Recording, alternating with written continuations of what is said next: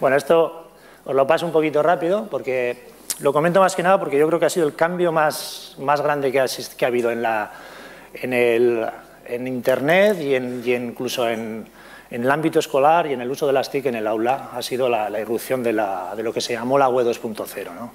Porque aquí todos igual nos acordáis, en, al principio en la red, bueno, algunos nos empezamos conectando con Infobía, etcétera, que eran unas conexiones puh, lentísimas, etcétera, ¿no?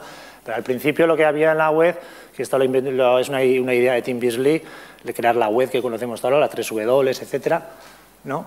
Eran, básicamente, son páginas que pueden tener imágenes, pueden tener audio, pueden tener etcétera, pero lo fundamental es que las páginas se conectan a través de enlaces. Esa es la, yo creo que es la idea que, que revolucionó, revolucionó un poquito y hizo que funcionara la web, ¿no? Pero claro, ¿qué, ¿qué, problema tenía? Pues que para poder publicar en la red había que saber bastante. No sé, alguien ha hecho alguno de los cursos de HTML, FTP, etcétera, que se hacían hace 15, 20 años, que la mayoría, claro, la curva de aprendizaje era muy alta y entonces, ¿qué es lo que sucedía?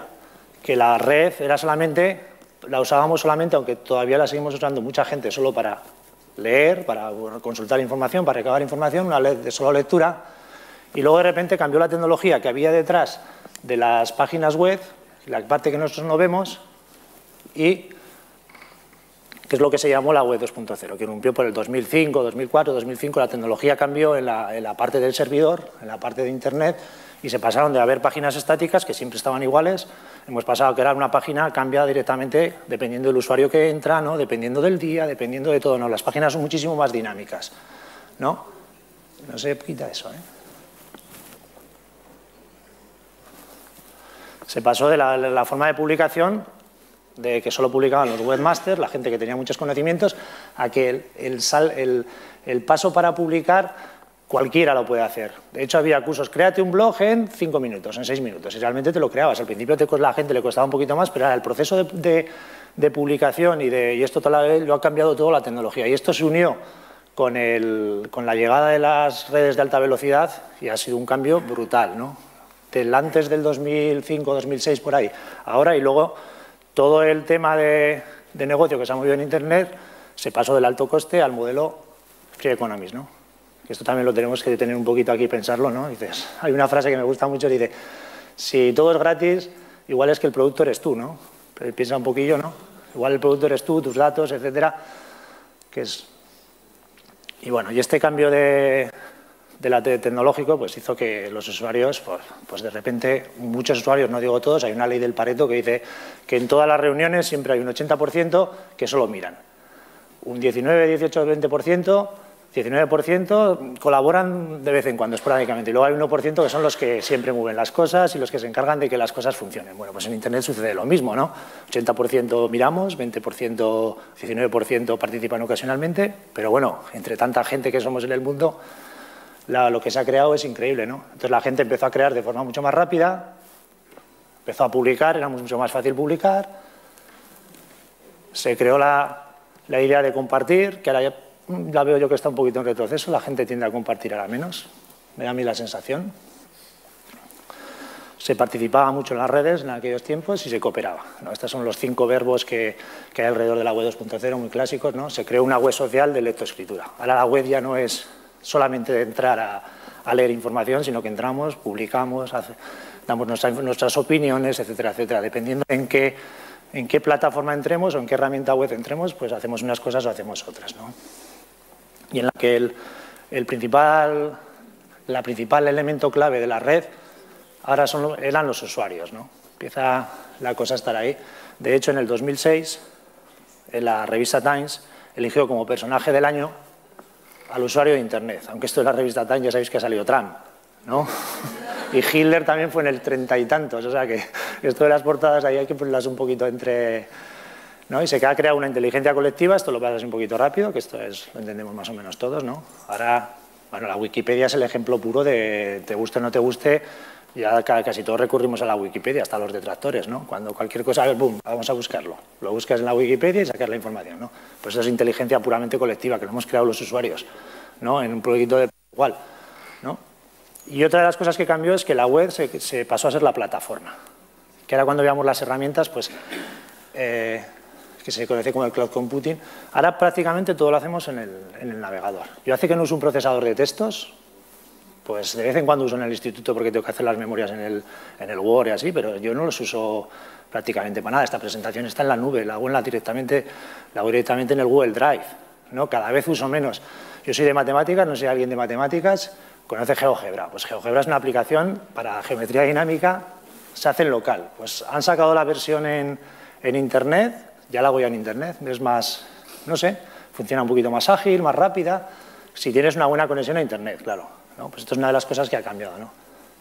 Y esto es resumiendo lo que es la web 2.0. Una web dinámica, participativa, colaborativa, donde los usuarios crean, comparten, para todo para generar una inteligencia colectiva y sobre todo la clave es que el uso es sencillo. O sea, la, la cosa por la que se ha producido esta irrupción es porque la tecnología nos ha permitido que, que cualquiera con muy poquitos conocimientos empiece a, hacer cosas, ¿no? Y esto de toda la web 2.0 lo, lo, quería relacionar todo porque os quería comentar un poquillo, que imagino que muchos ya lo conoceréis. Vale, surgió mucho la idea de compartir. Tenemos que compartir, pero ya sabéis que en España, bueno, y en todos los países, ¿qué es lo que hay? Copyright, ¿no? Entonces ahí tenemos una problemática a la hora de las publicaciones, sobre todo si quiere ser un poquito legal, que sabemos que esto muchas veces no funciona así. Dice, y esta, es una frase de Machado que me gusta y es, no sé si la habéis leído, cuestiones de cultura. Bueno, hay otra de, os pongo otra de Bernard, de Bernard que me gusta también, quizá más, que va todavía más relacionado con lo que es la, diferencia entre la propiedad intelectual y la propiedad física, ¿no? que todavía sigue estando el debate ahí en la red y, seguirá porque hay muchos intereses contrapuestos. ¿no? No es lo mismo las manzanas que las ideas y, que, y lo que es el contenido inmaterial, que son todo, todo lo que creamos en la red. ¿no? Entonces, para, para poder pasar desde el dominio público, que son las cosas que ya están libres, que las puedes usar, que a los 70 años en España, una, de la muerte del autor, una obra pasa a dominio público, ¿no? Son 70 años. Y, entre el copyright, que cualquier cosa que hacéis, cualquier cosa que vosotros hacéis, cualquier cosa que sea de creación vuestra, automáticamente tiene copyright en España y en, todos los países. O sea, tú hagas cualquier cosa, la publicas, eso ya, si tú no pones nada, eso tiene copyright. Entonces la gente no puede usarlo para nada. ¿Qué? Por los alumnos, en teoría, pasa igual. ¿Con? Y si nuestros alumnos hacen un... igual, claro, es lo mismo. Claro. Hay otra parte que es la, la, propiedad intelectual de los alumnos. Podrías tener... Bueno, sobre eso ya luego... Eh, Lauren Lessing, creo que es un abogado americano, pues ahí diseñó un tipo de licencias que permiten que pasar desde el copyright hasta, hasta el dominio público de forma un poquito más armoniosa. No sé si las conocéis, creo que muchos las conocéis, o, al, menos los símbolos los habréis visto en muchas páginas web, en muchos sitios, de repente hace un símbolo con Creative Commons. ¿no? Y de, bueno, ¿en qué se basan las Creative Commons? Lo principal, tiene que haber una libertad obligatoria, todas las Creative Commons tienen esta libertad. Puedes copiar, distribuir y comunicar públicamente la idea, que es lo que principalmente hacemos todos, ¿no? sobre todo copiar y distribuir, ¿no? Esta es la libertad que todas tienen que tener. Pero luego hay unas condiciones. Entonces, cuando tú creas la licencia, va a haber, tienes que saber lo que son las condiciones. Pues veréis que hay una condición, es, esta es obligatoria, reconocimiento al autor, claro, pues ya que lo vas a usar siempre, por lo menos di que es mío, ¿no? O que es de, fulanito, de menganito, del que sea, ¿no? Esto es, prohíbes el uso, el uso comercial, permites hacer obras derivadas, pero con la misma licencia. O sea, si, yo, cogéis esta presentación o cualquiera de los materiales que tengo yo y los queréis hacer derivadas, obras derivadas las podéis hacer, pero tenéis que mantener la misma licencia que yo.